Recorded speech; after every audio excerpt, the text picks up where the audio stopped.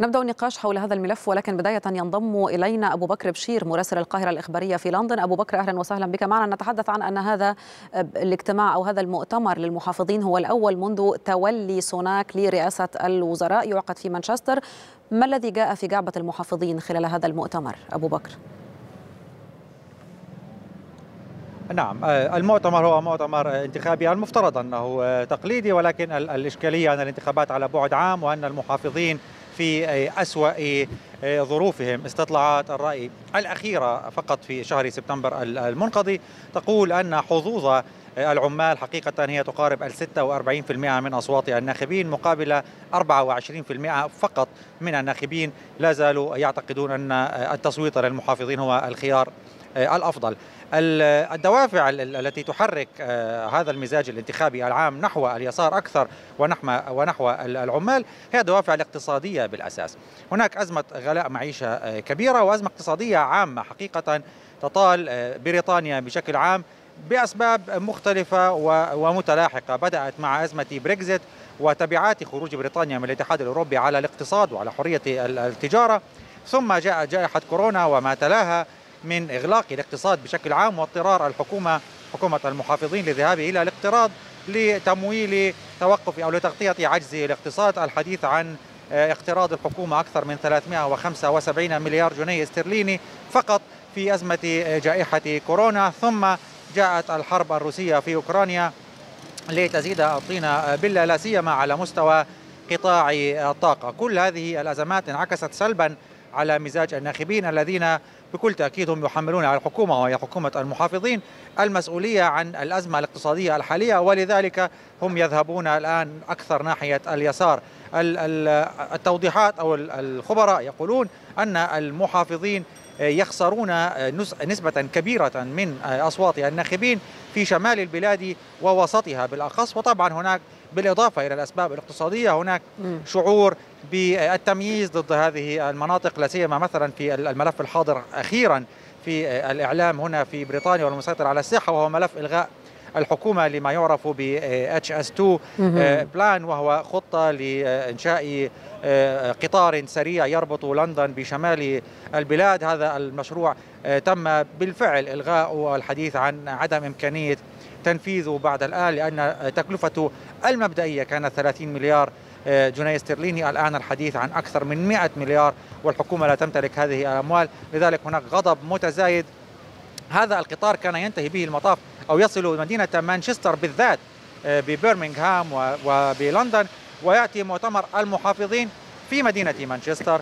في وقت سكان المدينة غاضبون ومحافظ المدينة وجه انتقادات لاذعة لحكومة ريشي سوناك وللمحافظين بسبب ما يصفه بالتمييز ضد سكان المناطق الذين هم خارج العاصمة. أيضا أزمات اقتصادية بالأساس هي التي تحرك مزاج الناخبين أكثر نحو اليسار. من ضمن الأزمات الاقتصادية أبو بكر بالتأكيد الضرائب وارتفاع الضرائب التي تؤرق البريطانيين إلى حد كبير، هل تعتقد أنه بإمكان كبار أعضاء حزب المحافظين ممارسة الضغوط على حكومة سوناك من أجل المزيد من التخفيضات الضريبية املا في تحسين شعبيتهم يعني التي كما تقول بدأت تتراجع؟ هناك تيار حقيقي داخل حزب المحافظين تقوده ليز تراس التي كانت تولت منصب رئاسة وزراء بريطانيا ل 44 يوما فقط. هي تقود تيار تحدثت اليوم في المؤتمر في مؤتمر المحافظين وطالبت بشكل واضح وصريح بخفض الضرائب على المواطنين بنسب كبيرة حقيقة بالإضافة إلى أنها تقول أن هذا الخفض سوف يؤدي إلى جذب مستثمرين أجانب وإلى حماية رؤوس الأموال البريطانية المحلية من مغادرة البلاد والانتقال إلى الخارج. لكن رئيس الوزراء ريشي سوناك وعلى لسان وزير المالية جيريمي هانت كان بشكل واضح. جيريمي هانت تحدث اليوم أيضا في المؤتمر تحدث بشكل واضح أنه لا توجد إمكانية لتنفيذ أي تخفيضات على الضرائب. ولأن ذلك سوف ينعكس بشكل واضح على التضخم. وقال أن أن الأفضل من ذلك وأن التخفيض الحقيقي على الضرائب هو عندما يتم تخفيض التضخم. من الواضح أن الخط السياسي والاقتصادي لتيار سوناك إنجاز التوصيف داخل حزب المحافظين هو التمترس خلف هدف واحد وثابت وهو خفض التضخم إلى النصف. كما جاء في تقريركم مع بداية العام عندما تولى ريشي سوناك رئاسة الوزراء تعهد بالتزامات خمسة ألزم بها نفسه مستحقة مع نهاية العام. فشل بشكل كامل في أربعة منها. واحدة مثلا منها هي ملف الهجرة تعهد بوقف تدفق اللاجئين إلى بريطانيا. اللاجئون لا زالوا يتدفقون إلى بريطانيا والمراكب لا تزال تحملهم وتأتي بهم من فرنسا. تعهد بترحيلهم إلى رواندا وفشل في ذلك. تعهد بوضعهم في بوارج سكنية ولم ينجح. في ذلك ما يثير غضب الجمهور هنا والناخبين أن كل هذه الأفكار حقيقة تزامنت مع إنفاق الحكومة لعشرات وربما مئات الملايين من الجنيهات من أجل تنفيذها وفشلت كلها. إذا خطة الهجرة وهي واحدة من التزامات ريشي سوناك فشلت فشلا ذريعا. تعهد أيضا بتقصير فترات انتظار المرضى للحصول على مواعيد مع الأطباء. الذي حصل أن هذه الفترات زادت وبشكل كبير بل أن بعض المرضى ألغيت مواعيدهم لثلاثة وأربعة مرات حتى يضاف إلى ذلك أن الأزمة تعمقت وطالت الطرف الآخر من المعادلة وهم الأطباء. فهم الآن وهنا أبو بكر أسألك هنا أسألك في اشتباك واقع منذ تولي سوناك لرئاسة الحكومة لم تهدأ الإضرابات في كثير من القطاعات الحيوية. كيف هو الحال الآن؟ هل هدأت وتيرة هذه الإضرابات؟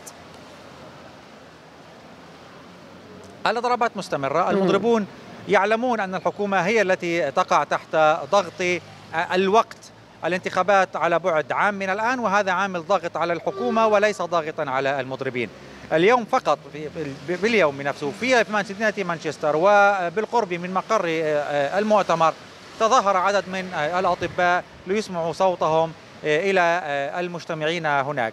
بالنسبة للحكومة هذا يعيدنا إلى التعهدات الخمسة مرة أخرى. التعهد الوحيد الذي نستطيع القول أن الحكومة تسير على الخط السليم إنجاز التوصيف. لجهة تحقيقه هو خفض التضخم. نعم. الحكومة وريشي سوناك تعهد بخفض التضخم إلى النصف. يومها كان 10% والنصف المستهدف هنا هو 5% اليوم التضخم 6 فارس 7% ريشي سوناك يحتاج في نهاية الأمر أن نعم أبو بكر ربما ما زال أمامنا العديد من النقاط سنناقشها خلال الوقت المتبقي من هذه الحلقة. أنا بشكرك شكرا جزيلا أبو بكر بشير مراسل القاهرة الإخبارية في لندن. شكرا لك على هذه التفاصيل.